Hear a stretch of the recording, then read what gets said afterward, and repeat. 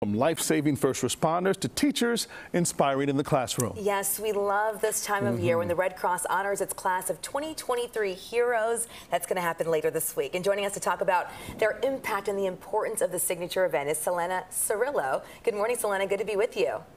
Good morning. Thank you so much for having me. Uh, I'd love to talk about the Heroes Breakfast. We're there every year, love and it. I always leave so inspired mm -hmm. and so mm-hmm. emotional too.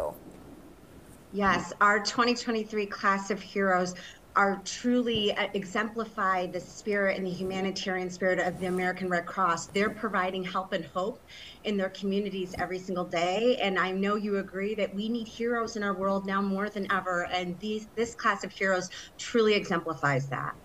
Celena, what's the nomination process and how can people get involved in becoming a Red Cross hero? Yes, so it is a public nominations process. Anybody, we've received over 150 nominations this year for our 12 amazing heroes. And so very soon it's going to be opening up again at, you can go to redcross.org slash heroes to nominate someone in your community, um, people who are making difference again in their communities every single day. We have firefighters, we have children who are volunteering, we have community leaders, we have educators. Um, again, just an amazing group of heroes this year. And Celena, that's what I love about it. We're actually seeing some pictures of the heroes as you're speaking, and we see some of the youngest, some of the oldest, and they're from so many different facets of life. That's what I love to see. Yes, as we, as we all know, anyone can make a difference. Anyone can choose to be kind. Anyone can choose to help.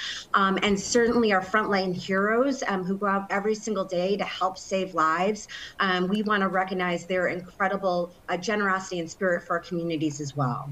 Now, there's still tickets available, correct? But if you can't make it, tell us about making a gift in honor of one of these Red Cross heroes. Yes, you can go to redcross.org slash heroes um, to make a generous gift to the American Red Cross um, through the generosity of our donors, individuals, corporations, and certainly the support of CBS, who's been our partner for over 15 years. Um, we've been able to raise millions of dollars over the 21 years of hosting the Heroes Breakfast to support the humanitarian mission of the Red Cross.